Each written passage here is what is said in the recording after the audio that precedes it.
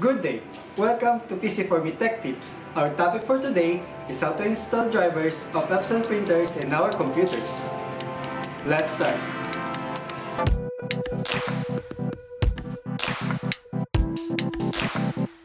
Paano nga ba install ang drivers ng Epson printers nang hindi ginagamit ang CD installer o kaya naman walang CD drive ang mga computers natin?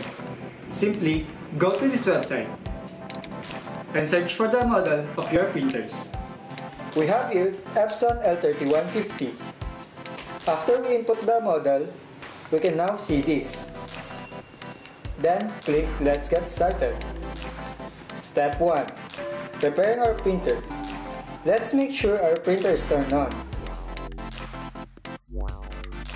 Step 2. Connect. Click the download button to download driver software of our Epson printers. After downloading, we can now click it to run the software. We then click agree to the terms and click next. Click next. Wait for installer to download the software needed. Click I have finished filling ink into the tanks and click next.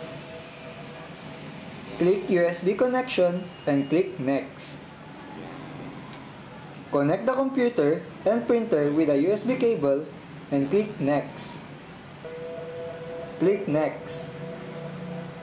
Uncheck for update software and click finish. Step 3. Setup complete. Now we have finally set up our Epson L3150 into our computers. That's all for today guys. Don't forget to like, share, and subscribe and hit the notification bell for more PC4Me Tech Tips updates. Wow.